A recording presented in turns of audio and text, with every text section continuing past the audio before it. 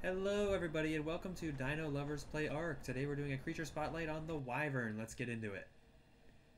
So the first thing the Wyvern's great at is shooting lightning out of its mouth. Let's test it on this here Rhino. So as you can see, it made quick work of the Rhino, even though the Rhino is a very formidable creature. This works great in defense and attack situations. The next thing the Wyvern is great at is flying at really fast speeds.